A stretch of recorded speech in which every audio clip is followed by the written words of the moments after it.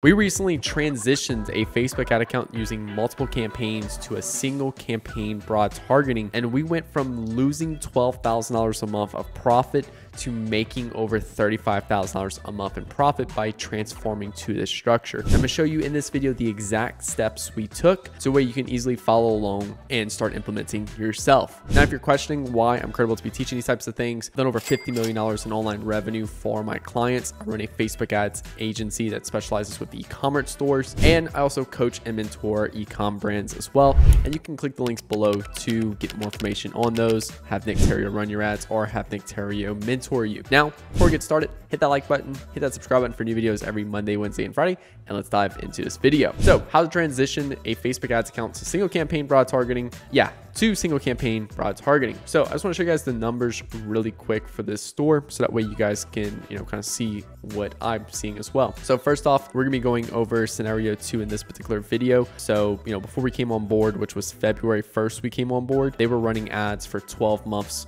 you know, prior to us. You know, that average per monthly basis was a 1.43x Facebook ads ROAS. Now that Facebook ads ROAS is the Triple Whale reported Facebook ROAS. That's not the Facebook report ROAS reported within Facebook. Okay, it's the blue attributed ROAS within inside of Facebook. Okay, um, or within inside Triple Whale. All right, they were averaging about thirty-six thousand dollars a month in ad spend, uh, 51k a month in revenue specifically from Facebook, making literally $36 a month in profit. Uh, with their three month customer LTV, they were making about $6,200 over the next 90 days um, in profit. Okay. Now we came in get on again February 1st, um, January 1st to January 31st. They were still running the ads themselves. Um, and the month before, prior of us coming on board, they had spent 57K, making back negative $12,000 because of the, you know, ROAS was so low. And after LTV and everything like that, they were losing, you know, you know, they're making back a little bit more to where that 12K turns about a 5K loss over 90 days. Okay. Now, February, we came on board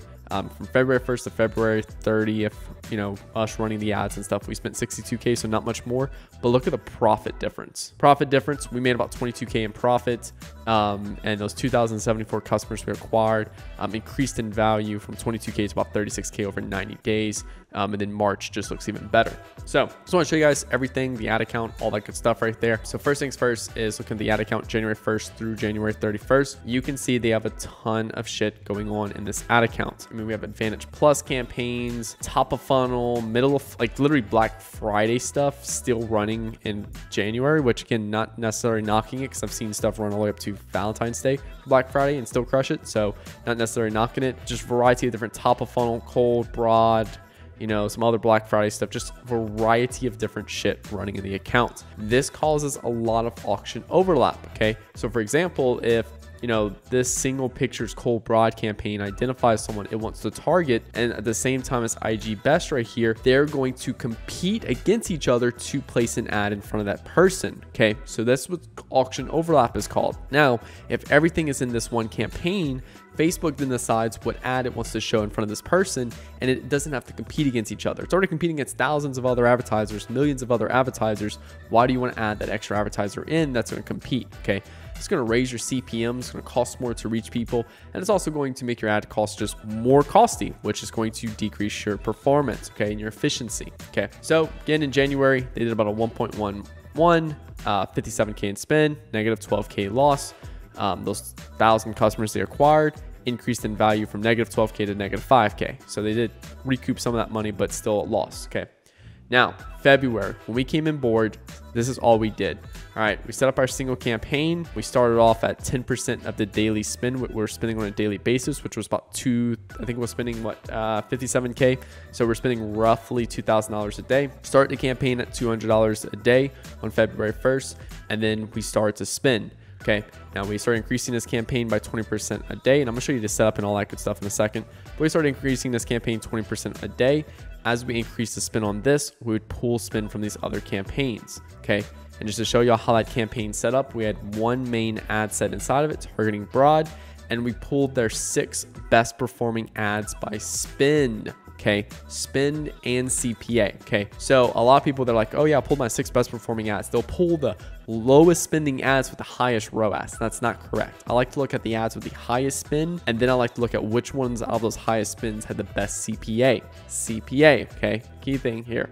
All right, that's to give me what I need for that ad set, and I pulled the top six to. You can you can pull more honestly. It doesn't matter. Like you know, I'll put 12 at a time in there at one point. It doesn't matter. Okay, just it takes a bit longer to run that type of stuff. So now in February, just a recap. All right, we spent $62,000 in February at a 1.94x ROAS, $22,000 in profit, first profitable month in over a year of running Facebook ads. Okay. And then those 2,074 customers we acquired in February, we're going to increase in value to about $36,000. Okay. So not only on top of that, they're also going to increase in value and they're going to make another $14,000 in profit. So this is good. This is very good signs right here of business growth. Okay.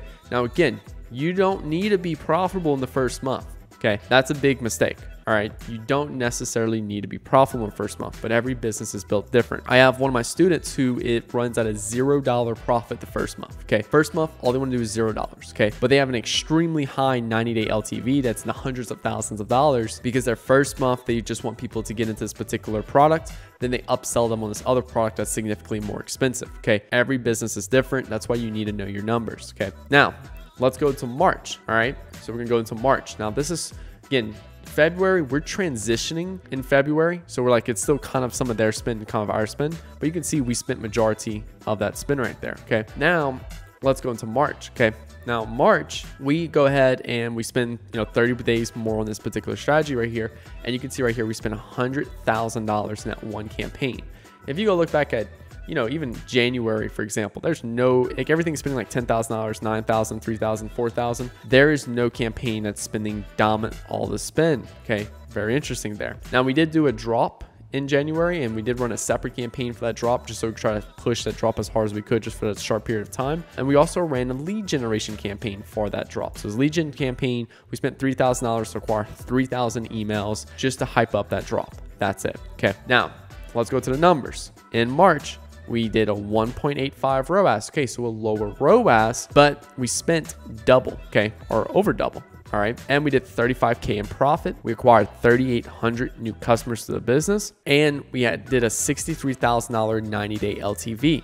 All right. So over 90 days, these 3,000 customers are going to turn to $63,000, almost $30,000 more in profit. Okay. So we're going to keep spending at this pace. We're going to keep spending, you know, two, 300, $400,000 a month. And our overall Facebook ROAS is going to drop month over month. That's perfectly normal. As you spend more, you have a law of diminishing returns. But look at this 90 day LTV. That's what we're growing here. So we're also looking at, all right, cool. Well, what's other ways we can improve things? Now, their gross margin is actually really good in this business, 70%. So I'm not, I'm actually really happy with that. But this, this three month LTV is actually pretty bad. Okay. So their AOV is $58 and their three month LTV is $68. Okay. I would like to try to improve the, I, I would like the 90 day LTV to be above 25% of the AOV. So that'd be about 14.5, 14.5. So I'd like to get this LTV to somewhere around 70 to $75 within that first 90 days right there. Okay. That's literally just squeezing out another four to $5. Okay. Now think about that. All these 3,891 customers spending, let's just say five more dollars. Okay. Five more dollars. That's going to add $19,000 more in revenue with a 70% or um, 30% gross margin. That's going to put this somewhere around 65, $67,000 in profit. Okay. So just giving you guys some examples there. Again, all the action steps we took on this account was we created a single broad prospecting campaign with one ad set times six best performing ads by spending CPA. We started the campaign at 10% of daily budget being spent. We started scaling by 20% per day as performance allowed. And then I pulled the same budget. I increased the broad campaign by from the other campaigns. Okay. So for example, if I increase this campaign today by 20%, I go from $500 daily spend to $600. That's a $100 increase. Okay. What I'll do is, is I'll pull $100 from other ad campaigns in the account, which will ultimately scale those campaigns down. So as I'm increasing this campaign, I'm pulling budget from these campaigns. Okay. Now, which campaign do you pull budget from? Honestly, you could start off with the least performer and just start pulling budget from there. And then that way you can just start swallowing up these other campaigns to eventually where you're just left with this one campaign right here. So, but yeah, guys, that's pretty much it. That's how we transition from a broad camp, um, you know, from multiple campaigns to a single broad prospecting campaign. 90% of the time it works. There is a percentage of time it doesn't work. Okay. In that particular case, if it doesn't work, what I'll do is, is I'm going to maintain that 10% of daily budget spend to that particular campaign. And I'm just going to hammer creative testing until we find creatives that that work on broad targeting, and then I'm gonna start scaling it up. Okay, which I'll do another video in the future to kind of handle that right there. Um, but just quite frankly, we haven't ran into an ad account yet with that problem. So um, that's the good thing about this strategy. So um, yeah, guys, thank you all so much for watching. Hit the like button, hit that subscribe button for new videos every Monday, Wednesday, and Friday. I'll talk to you guys later. Peace out.